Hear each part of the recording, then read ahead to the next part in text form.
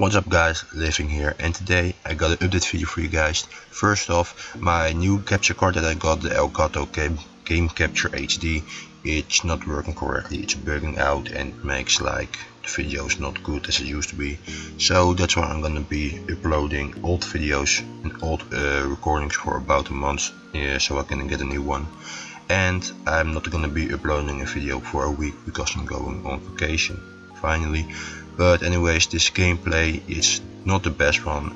The gameplay is muted because I've raged so fucking much that mm, it's not fun to hear.